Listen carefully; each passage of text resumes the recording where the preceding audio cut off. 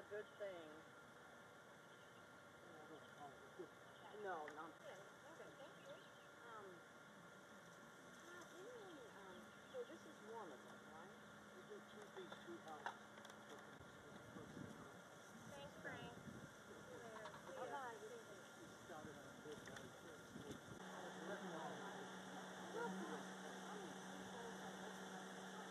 Your house alone?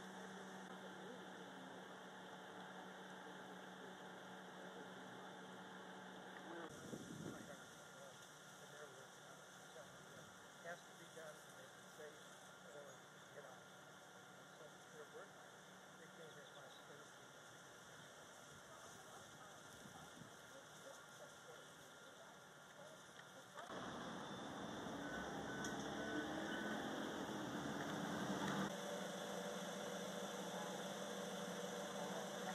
Thank you.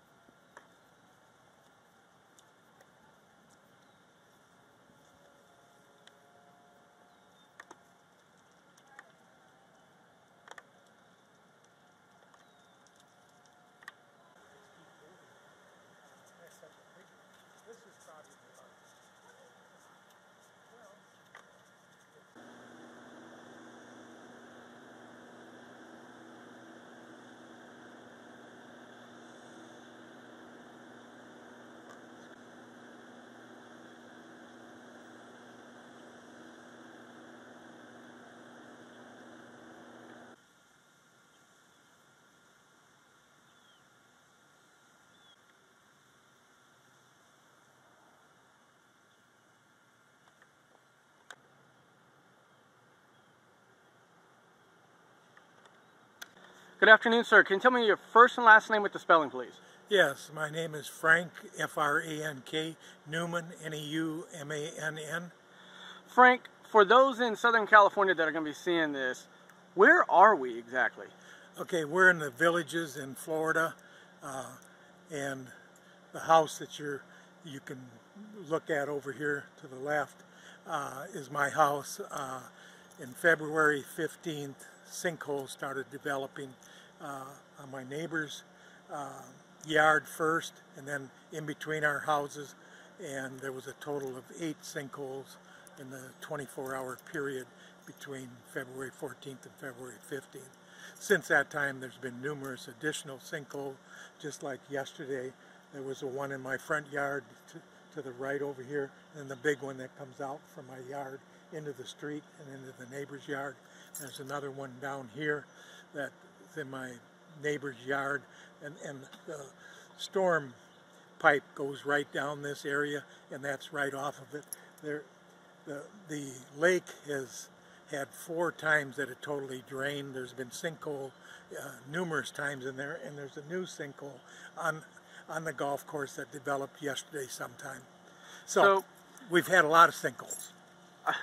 Uh, yeah. Um, so let me ask you, when you say the lake, the lake is directly behind your house on the golf course? Yes, it's on Nancy Lo- Lopez Golf Course. There's a lake there.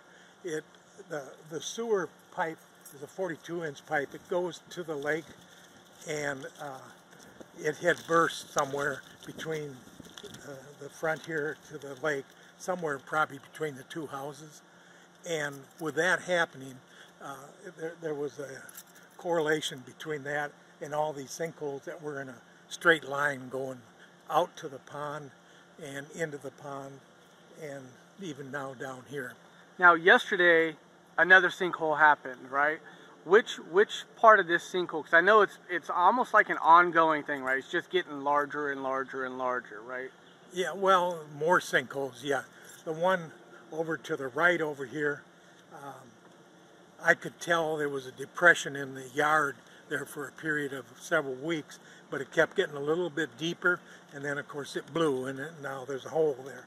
This one here, there was a small sinkhole there that was about six feet into my lot, and it was oh five feet in diameter, and it got about four feet deep, uh, and they had put grout and, and other cement in that originally. It still sunk down. Then they put more grout and stuff in.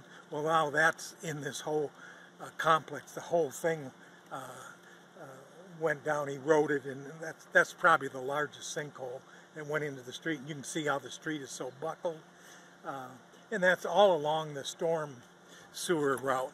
That storm sewer goes all the way down here, goes to the left street over here. So if you were a betting man, what would you would say that the sewer drain may have caused this? Uh, I think it definitely helped cause the sinkholes.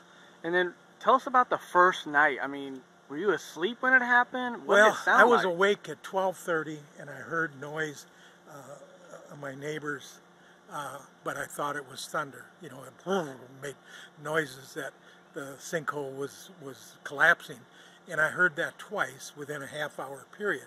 Well, I even went outside and looked at the sky and stuff, and I thought, geez, it really doesn't look like there should be any thunder. But you know, I never realized a sinkhole would develop, so I, I just blew it off and went and watched my Olympics.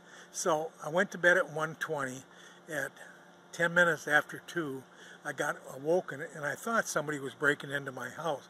The sinkhole uh, on, on the far end of my land there, right by my half bath, which is off of the pool, um, I heard this enormous amount of noise, so I jumped out of bed. I thought somebody was trying to break into the house in the back. I went back there, didn't see anything. I didn't go outside. And I went back to bed, and it happened one more time. I got up, and about that time, the lady that was in this house, she had big cracks going in her in her house by all this commotion, and she had called 911, and the police got out here. They woke us up as well, and we left our house at about three o'clock in the morning and we stayed at this house the rest of the night. And then we saw the the uh, continuation of the sinkholes developing from the first one. My second one had already developed. The third one, the fourth one, and then the ones in the pool, and then one over on the golf course over to the far side over here. So you haven't been able to return to your house since February? It's February 15th. We had to abandon it, and then we took our furnitures out about a month and a half later. And of course, um, uh, we, we, you know, there's no air and no electricity and stuff in the house, so we wanted to get our furniture in, in an air-conditioned storage. Frank, I know that you were telling the other stations that you were you were seriously considering returning back to your home, and I don't blame you. From what I under, from what I understand, you've been here what 14 or 15 years, yeah, correct? Yeah, 14. So what what would what would they have to do to convince you that it's safe to stay there Well, so you can continue to have memories? yeah. The first thing is they'd have to demo my whole pool and put a brand new pool in because they'd have to stabilize the ground that's underneath my pool. Secondly, the, uh, I, I hired my own engineer because I wasn't um, believing everything from the insurance engineer.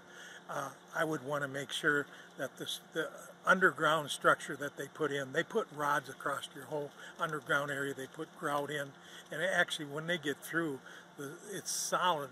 It's much more solid under your house than it would be originally. I would have to, my insurance, my engineer would have to tell me that everything would be safe and there would not be any problems, you know, with the house. I have a very well built house, a little better built than this one to the left of us here, and because of that, I didn't get the internal damage as much as what this house got. So my internal damage, yeah, is there. I've got, you know, uh, floors that sink about three inches. I got ceilings that have bubbles on them. I got walls that have uh, moved a little bit, um, and I got doors that can't open way in the far side of the house. And I got cabinets that are cattywampus from from the shifting of everything. I got some problems up on the roof, so they have to fix all that. Frank, has the villages reached out to you at all? Are they are they assisting you in relocation or anything? Well, they didn't do that. I did that myself. Um, but uh, we found a place and we're staying in Piedmont, about two miles from here. And one last question: Is it just you and your wife that live there? Yes, that's all. And you guys were both okay? We're fine. Perfect. Hey, Frank, I really do appreciate you taking the time to speak. Okay, thank you.